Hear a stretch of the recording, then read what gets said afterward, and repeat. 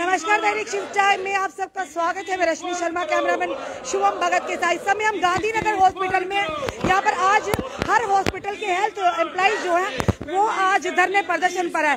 ये वो लोग हैं जो कोरोना काल से लेकर ऐसे भी आम जनता को सर्व करते हैं और इन्हें ये कहा जाता है, ये कोरोना वॉरियर्स है। और वही दूसरी तरफ़ प्रधानमंत्री जी, इन लोगों के लिए फूलों की वर्षा भी करते हैं। पर ये आज क्यों सड़कों पर, क्यों आज धरना प्रदर्शन करें? अपने ही ऑफ़िस के हॉस्पिटल के प्रेमिस में इनके जाने का प्रयास करेंगे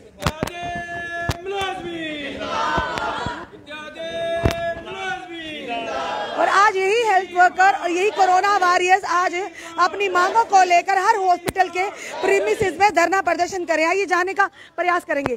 जी सर क्या कहना चाहेंगे? आप लोग कोरोना वॉरियर्स कहा जाता है। आप पर फूलों की वर्षा भी की जाती है पर आज आप लोग ही धरने पर हैं क्या कहेंगे कोई भी मुलाजम ऐसे धरने में नहीं आता। जब सिर से पानी ऊपर निकल जाता है फिर हमें ये धरना प्रदर्शन करते पड़ते हैं। हमारी डीपीसी लगभग पिछले पाँच साल से नहीं हुई है। बाकी डिपार्टमेंट्स में देखो, हर छह महीने के बाद जीएडी का जो ऑर्डर है, होनी चाहिए, होती है डीपीसी मगर एक हेल्थ डिपार्टमेंट ही ऐसा है, जिसमें कोई डीपीसी का नामो निशान नहीं है। हमारी जो बहन जूनियर लगेगी, वो जूनियर ही रिटायर हो जाएगी। जो जूनियर क्लर्क लगेगा, वो जूनियर रिटायर हो जाएगा। तो बाकी डिपार्टमेंट्स में जैसे डीपीसी हो रही है छह छह महीने के बाद, हमारी भी ये बर्निंग डिमांड है कि हमारी भी डीपीसी होनी चाहिए। तो दूसरी डिमांड जो थी हमारी old pension scheme new pension scheme में किसी को एक हज़ार पेंशन मिलती है, किसी को दो हज़ार मिलती है। हम चाहते हैं, जैसे बाकी स्टेटों ने कर दिया है, इस स्टेट में भी ओल्ड पेंशन स्कीम हो, जो मुलाजिम घर जाए, उसका जो बुढ़ापे का सहारा है पेंशन उसको पेंशन अच्छी मिले कम से कम, जाके उसका जो बाकी लाइफ है, सुमुत गुजरे। और जो हमारी बहनें हैं, जो बाईस हेड में काम करती हैं, उनको, उनकी सैलरी का कोई आज तक इस गवर्नमेंट ने परमानेंट सोल्यूशन नहीं निकाला है। कभी उनको दो महीने सैलरी मिलती है, कभी तीन महीने मिलती है, छह महीने की बंद पड़ी है। हम चाहते हैं कि उनका कोई परमानेंट सोल्यूशन निकले, ताकि बाकी मुलाजमों की तरह उनको भी हर महीने सैलरी मिले। तो मैं आपके माध्यम से एक बार गवर्नमेंट से पुरजोर अपील करता हूँ जो मेन हमारा बर्निंग डिमांड है डीपीसी को उसको फ़ौरन लागू करें। रजिस्ट्रेशन ऑफ़ फार्मासिस्ट के लिए भी कहीं ना कहीं मांग काफ़ी बार बच्चों ने उठाई है जिन्होंने डिग्रियाँ कर कर रखी हैं उनके लिए क्या देखिए ये जो डिमांड है जब यूटी बनी 370 एबॉलिश हुआ उसमें जो फार्मासिस्ट उस उस समय तक जो रजिस्टर्ड थे, जो भाई हमारे फारफ्लंग एरिया में लगे हुए हैं, उन्होंने किसी कारणवश रजिस्ट्रेशन अपनी नहीं कराई। उन्होंने सोचा कि इन सर्विस में अपनी, हमारी, अपने आप डीपीसी जो है हमारी रजिस्ट्रेशन हो जाएगी। मगर जो यूटी बनने के बाद लेफ़्ट ओवर जो फार्मासिस्ट हैं, उनकी रजिस्ट्रेशन लेबोरेटरी वालों की रजिस्ट्रेशन इन्होंने नहीं की। हमारी ये डिमांड है कि इनकी भी जो रजिस्ट्रेशन है जिस तरह बाकियों की की हुई है इनको भी करें ताकि ये रिटायरमेंट के बाद अपना लाइसेंस ले सके। चाहिए क्या कि जो ये बनाया हुआ है इन्होंने इशू बनाया हुआ है जो फार्मेसी काउंसिल का रजिस्ट्रेशन थी वो बंद की हुई है। हम चाहते हैं कि फार्मेसी काउंसिल की रजिस्ट्रेशन को कंटिन्यू करें। जो मेडिकल असिस्टेंट की ट्रेनिंग है आप लोगों ने अगर रखी है तो उसको जहाँ तो बंद करवा दीजिए। अगर आपने उनको ना तो लाइसेंस देनी है ना जॉब देनी है तो इसका क्या फ़ायदा? जो बच्चे इतने ट्रेनिंग कर रहे हैं आपके वो ट्रेनिंग करके क्या करेंगे? बाहर चाय की दुकानें खोलेंगे रेडिया लगाएँगे। वो रेडिया में आप नहीं लगने दोगे। वो क्या करोगे उसको? इसके बारे में इसके बारे में हम तो यही कहते हैं कि जो आपकी जो फार्मेसी काउंसिल की रजिस्ट्रेशन है लैब की रजिस्ट्रेशन है उसको कंटिन्यू किया जाए। एक लेबोरेटरी टेक्नीशियन अगर अपनी प्रैक्टिस नहीं कर सकेगा तो क्या करेगा? हम तो रिटायर होने के बाद तो बिल्कुल नकारा हो जाएँगे। अगर आप हमें बाहर कहते हो कि यहाँ पे आप साइनिंग अथॉरिटी नहीं है आपको एक डॉक्टर की ज़रूरत है जो प्राइवेट कहते हैं हम तो अभी एट प्रेजेंट हॉस्पिटल के अंदर हैं। अभी कर रहे हैं। कल को हम भी रिटायर हो जाएँगे। जब हम रिटायर होंगे तो उसके बाद हमने क्या करना है? हमने भी तो कोई काम करना है ना। ये थोड़ी है। और जो नए बच्चे ट्रेनिंग कर रहे हैं जहाँ तो उनके लिए बंद करवा दो ट्रेनिंग बंद करवा दो। वो काले बंद कर दीजिए। हम तो कहते हैं उनको उनका भविष्य क्यों खराब कर रहे हो आप? देखो एक ट्रेनिंग करके बच्चा एक एक लाख दो दो लाख रुपया डोनेशन दे के ट्रेनिंग करेगा। उसके बाद फ्री ऑफ़ कास्ट घर पे बैठ जाएगा। ना कोई काम करेगा और बाद में क्या करेगा? सुसाइड करेगा। ये धारा तीन सौ सत्तर ये धारा तीन सौ सत्तर के ये उल्टा नुकसान हो गया मैडम हमें। ये कुछ कुछ चीज़ें हमें नुकसान दे रही हैं।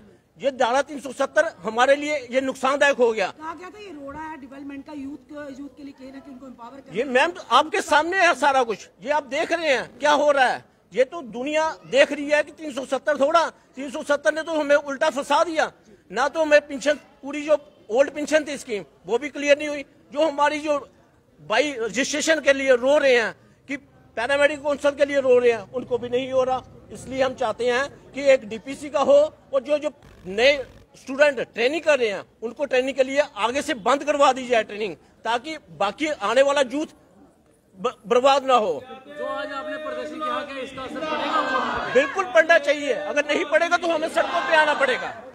इस समय आप लाइव के दृश्य दृश्य लाइव दृश्य देख रहे हैं। यहाँ पर इस समय गांधीनगर हॉस्पिटल से जहाँ पर आप देख रहे हैं हेल्थ एम्प्लॉइज लगातार प्रदर्शन पर। सवाल बड़ा ये भी है कि काफ़ी बार जो लोग फार्मासिस्ट है जिनकी रजिस्ट्रेशन नहीं हुई थी, ये कहा गया था धारा 370 के एप्लीकेशन के बाद रजिस्ट्रेशन उसे बंद कर दिया। यहाँ ये कहा गया था कि रोज़गार के स्रोत खुलेंगे। धारा 370 एक रोड़ा है, युवाओं की कामयाबी में कहीं ना कहीं जम्मू कश्मीर की डेवलपमेंट के लिए।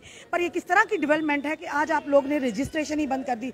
जिन लोगों के परिवार ने न जाने कैसे कैसे जुगाड़ करके अपने बच्चों के लिए वो ट्रेनिंग करवाई और कॉलेज तक पहुँचाया, आज वही ट्रेनिंग कर कर अगर वो घर बैठे उनका फ्यूचर कहीं ना कहीं अंधकार में तो खुद सोचिए वो क्या करेंगे। उनके पास एक ही रह जाता है, जो ऑप्शन है कि वो कहीं ना कहीं धरने प्रदर्शन के माध्यम से अपनी बात प्रशासन और सरकार तक लाएँ। चलिए, आप हमारे बीच में और भी लोग हैं, इनसे भी बात करने का प्रयास करेंगे। जी, मैम, क्या कहना चाहेंगे आप? हाँ जी, हमारी सिर्फ़ तीन ही डिमांड्स है बस। डीपीसी की बाईस सौ ग्यारह हेड की सैलरी का परमानेंट सोल्यूशन हो, जो हमारी बाकी डिमांड्स है वो पूरी हो बस। हमारा यही हुआ है बस। देखो ना, अगर हम यहाँ पे स्ट्राइक पे बैठे हैं, जो आम पब्लिक है, वो भी तो सफ़र कर रही है ना। ये सिर्फ़ हम यहाँ बैठे हैं कि हम सफ़र कर रहे हैं। हमारा परिवार सफ़र कर रहा है। हम कोविड काल में हमने इतना ज़्यादा काम किया, उसमें हमारी फैमिलीज़ ने भी सफ़र किया, लोगों ने सफ़र किया। हमने लेकिन उनका सिर्फ़ साथ दिया, सिर्फ़ सिर्फ़ एक बाकी लेकिन किसने साथ लेकिन क्या? आप लोग ऐसा तो कोरोना वॉरियर का टैग हमें उसी टाइम दिया गया था। लेकिन अब क्या टैग हमारा क्या? हटा दिया उन्होंने क्या? अब हमारा वो जो कोरोना वॉरियर था वो कहाँ है अब? उस टाइम कोरोना वॉरियर फूल बरसाओ जिनको सर्टिफिकेट दो बट अब कहाँ है हमारा कोरोना वॉरियर अब हमारा टैग जो है वो हट गया बस गवर्नमेंट को अब कोई नहीं दिखाई दिखाई दे रहा कुछ भी। लेफ्टिनेंट गवर्नर साहब से और प्रधानमंत्री यही आपके माध्यम से आपके माध्यम से हम यही कहना चाह रहे हैं कि जो हमारा इंसेंटिव उन्होंने किया था वो अभी तक इम्प्लीमेंट नहीं हुआ। क्यों नहीं हुआ? क्यों कोरोना वायरस के उन्होंने डिक्लेयर किया? बट अभी उन्होंने हमें इम्प्लीमेंट क्यों नहीं किया? क्यों नहीं दिया वो? क्योंकि वो सिर्फ़ अब वेट कर रहे हैं कि एक और कोरोना कुछ आएगा तो उसके बाद हमें फिर से टैग दिया जाएगा। बस वो बाद में जब कोरोना चला गया तो टैग है, वो बाद में बाद में वो हमारा हिला दिया जाएगा। बस उतार दिया जाएगा, बाकी कुछ नहीं है गवर्नमेंट इम्प्लॉयज आपने साफ़ तौर पर देखा इस समय गांधीनगर हॉस्पिटल में, जहाँ पर आज हेल्थ एम्प्लॉइज द्वारा प्रदर्शन किया गया। प्रदर्शन का जो माध्यम तो हमने बताया कि किस लिए आज प्रदर्शन किया गया, ये वो लोग हैं, ये वो तबका है, जिन्होंने महामारी के समय अपना पूरा योगदान दिया, अपने परिवारों की परवाह किए बगैर। इन लोगों ने अपनी जानों को जोखिम में डालकर जनता को सर्व किया, जिसके चलते प्रधानमंत्री जी ने ये कहा, ये कोरोना वॉरियर्स है और इन पर फूलों की वर्षा भी की गई इनके काम को देकर उसी के चलते आज ये लोग अपनी मांगों को लेकर यहाँ पर प्रदर्शन कर अब देखना ये है कि क्या इनकी आवाज़ लेफ्टिनेंट गवर्नर या प्रधानमंत्री जी तक पहुँच पाती है, जो इनकी मांगे और मांगे भी जेन्यून मांगे। और सबसे बड़ी बात, काफ़ी बार फार्मासिस्ट ने जो कि जिनकी रजिस्ट्रेशन फ़िलहाल बंद कर दी गई है, उन्होंने लेकर प्रदर्शन किया कि आखिर डिग्रियाँ की है? अपने माता पिता ने उनकी जमा पूंजी उनकी डिग्रियाँ करवाने में लगा दी, पर वो डिग्री करवाने का क्या फ़ायदा, उन कॉलेजेस का क्या फ़ायदा जहाँ पर वो बच्चे पढ़ते अगर उनके लिए रिक्रूटमेंट या उनको, उनके लिए कोई पॉलिसी या उनके लिए रजिस्ट्रेशन नहीं होगी, ये भी बड़ा सवाल रहेगा। अपने कमेंट ज़रूर कमेंट बॉक्स में दीजिए इस वीडियो को। जितना हो सके शेयर कीजिए, जुड़े रहिए ऐसे हमारे साथ अगले अपडेट के लिए। जय हिंद, जय भारत।